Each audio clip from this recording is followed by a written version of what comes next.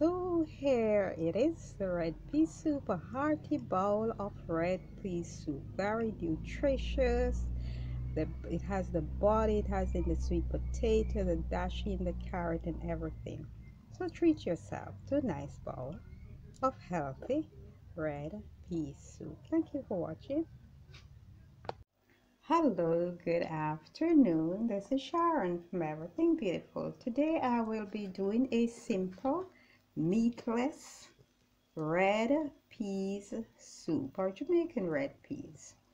It's actually in the pressure cooker cooking and this is the food I'm going to put in. I just have um, carrots and I have some chocho and I have dasheen and I have a sweet potato. Now sweet potato in Jamaica is a must in a in, in red pea soup and um, I would love to have a piece of yellow yam or negro yam but I don't have that today so I'm just using what I have. And I'm using our Grace Cock soup which is all over you know. And here I have some cornmeal and some um, some flour that I'm going to be using to make dumplings. Well we in Jamaica surely like our soup with dumplings. We like it with meat too but after eating a lot of meat over the holiday Today I decide I would go meatless, so I'll take you along as I make my red pea soup. Thank you for watching. Please remember to like, share, and subscribe. So the peas is ready. So here it is. Okay, they're soft. And the food is ready. I've already peeled them. And I've made the flour, the dough for the dumplings and so I'm going to put everything in the pot and get back to you. So here I have the food already and I'd washed them properly.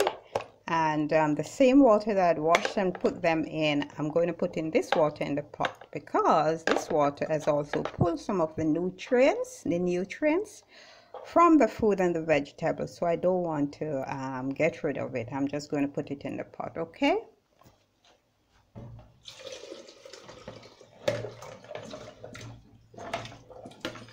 So there it is. Right so that is in the pot. The next thing I'm going to do I'm going to be making these dumplings okay? But first let me um, put in some escallion now this is my escallion i like to freeze my escallion okay?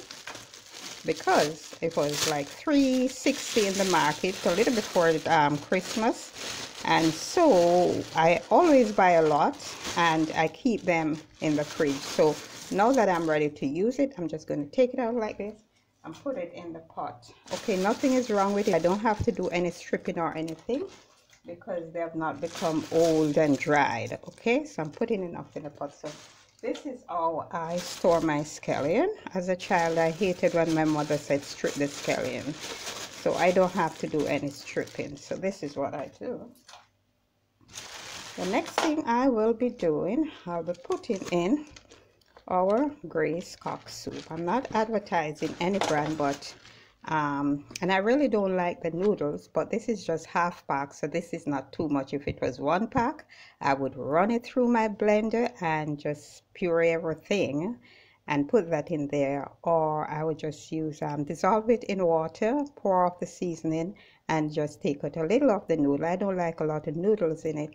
The thing I do, I put everything in my pot the same time whenever I'm cooking soup. Reason for that, everything starts to break down and give the soup the body that it needs. Our even our grandparents and foreparents, some of them didn't even know about um, Grace Cock soup or whatever it is, but they allow their food to cook and simmer and the starches and bring out the starches in the food uh, uh, uh, from the food and give that the soup that gum, that body that it's need, it, it's need it needs.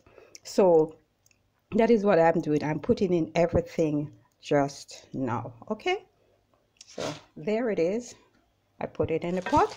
The next thing I don't have any fresh thyme but I have my dry thyme here. What is pea soup without thyme? Oh no it's too flat okay? So I'm just they were washed and dried so I just put some there in my soup. And the next thing I'm going to do I'm going to just replace the scallion in the refrigerator